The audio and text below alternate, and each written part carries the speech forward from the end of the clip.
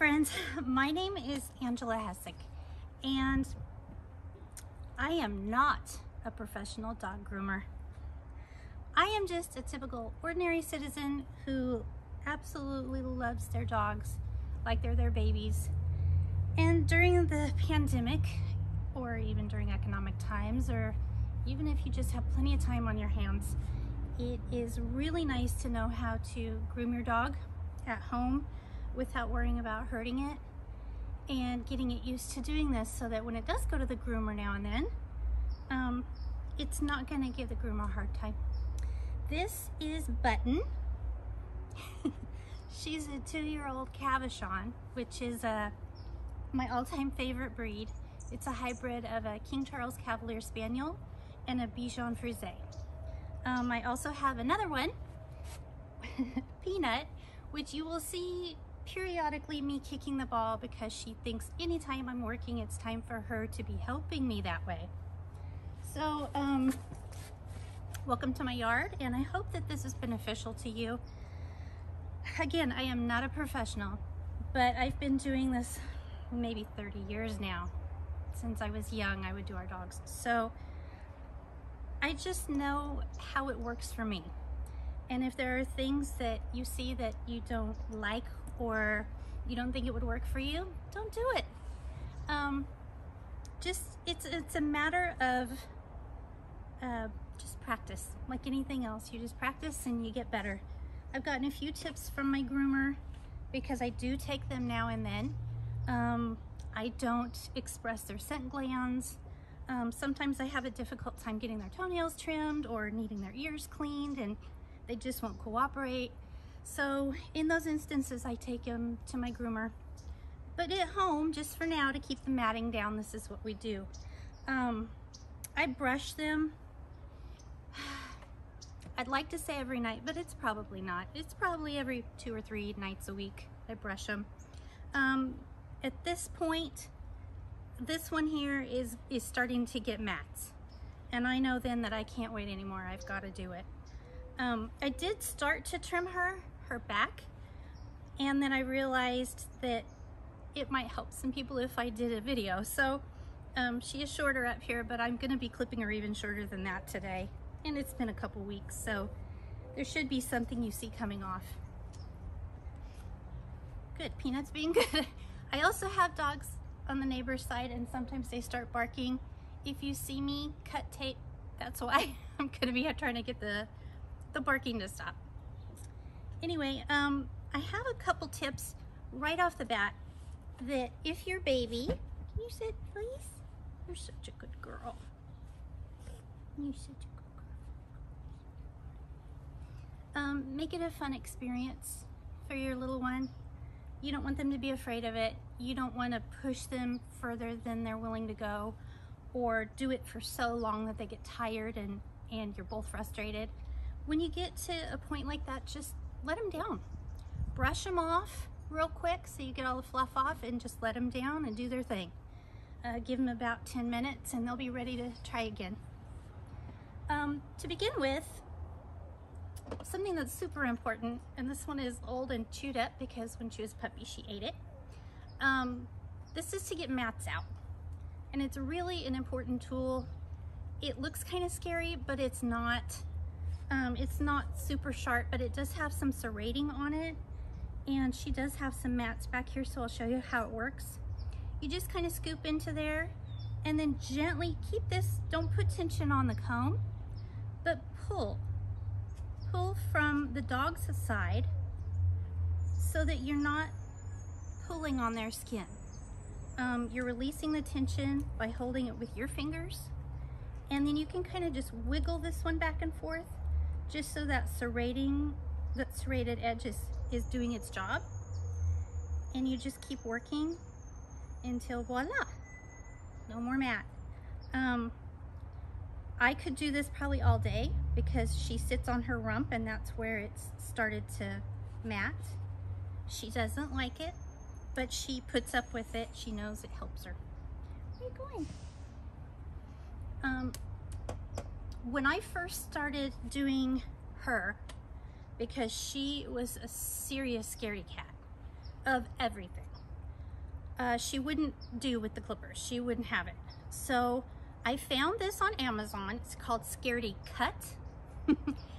and um, just like my clipper set, it has a set, get this off here. It has a set of guides that are different sizes so that you can make your baby's fur as long as you want it.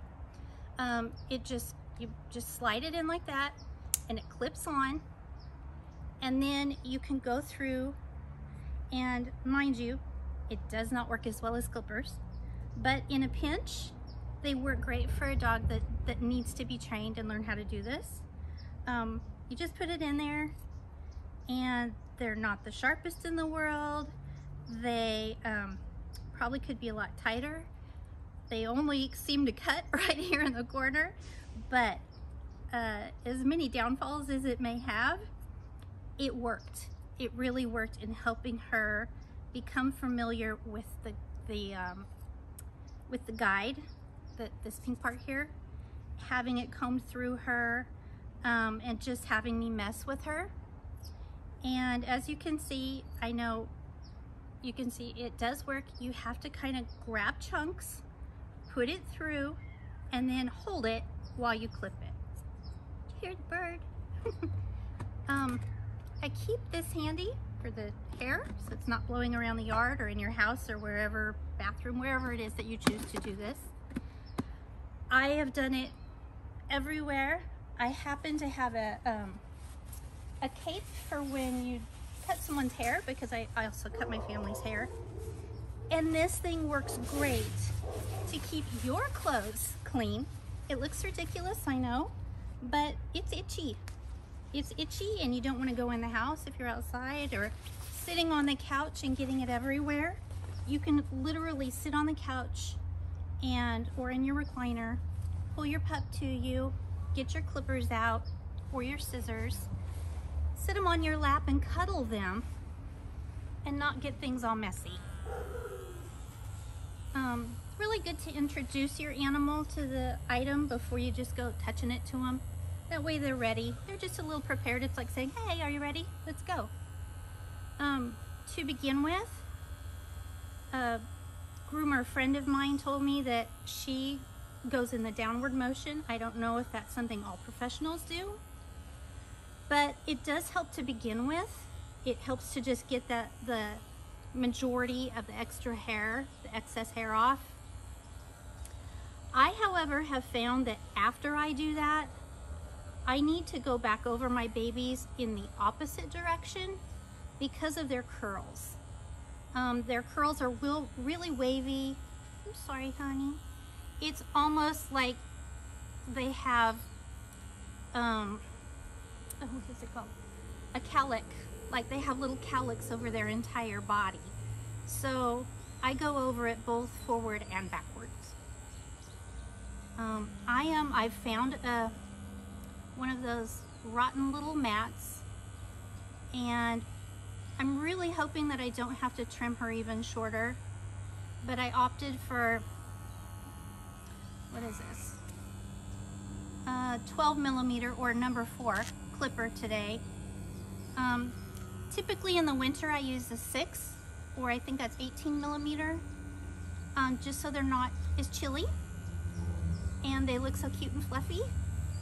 But I've gone for the four today. Spring is kind of coming. I know that most of the country, it's probably snowing and there's all sorts of stuff happening, but I am in Central California and it's a beautiful, it's in the 60s today. And um, we've been getting the 70s, so I feel comfortable with making it a little shorter for her. And we're in the house most of the time, the fireplace is still going.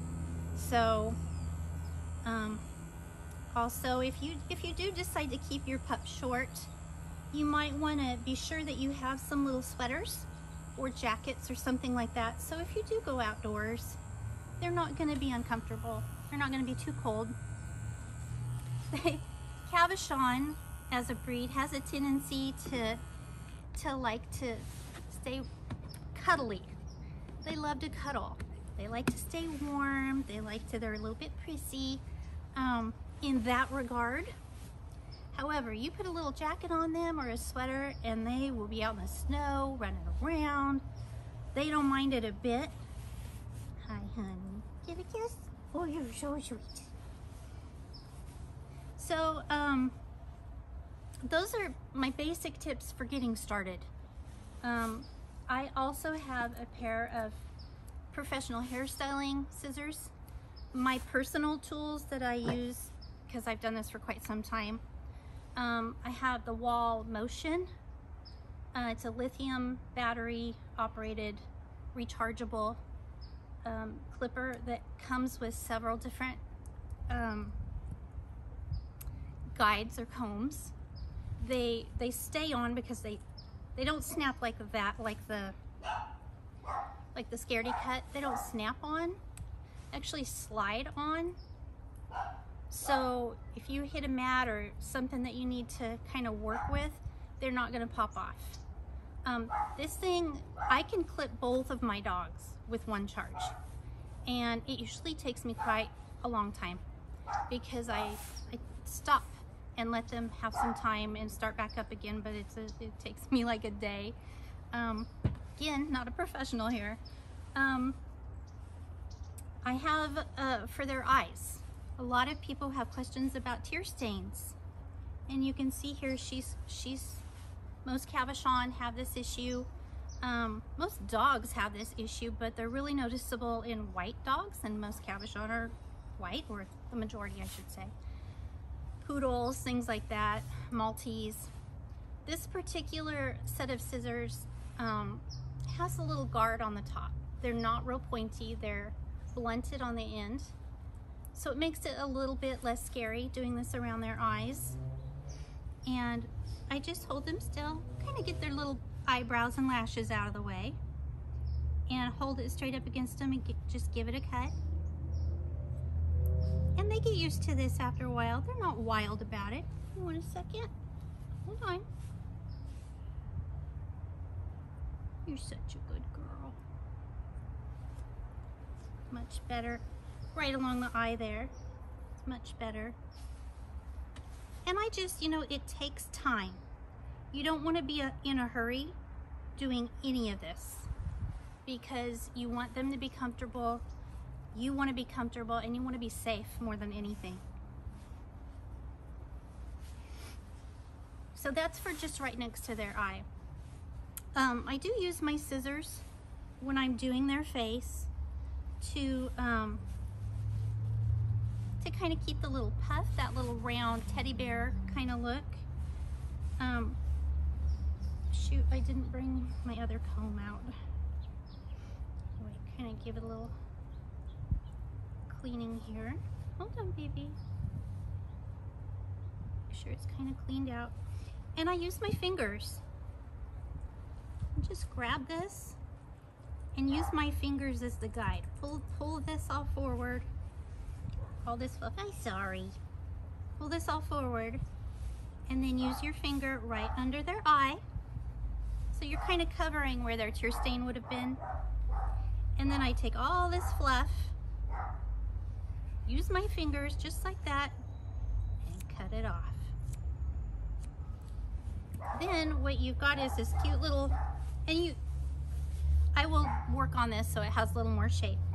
But what you now have is all of this stuff that was getting in their eye and creating irritation is now no longer irritating and it creates a really cute look. It just makes them have that cute little teddy bear face. And I just kind of, again, put it between my fingers, pull it through. You gotta hold still. And give it a cut.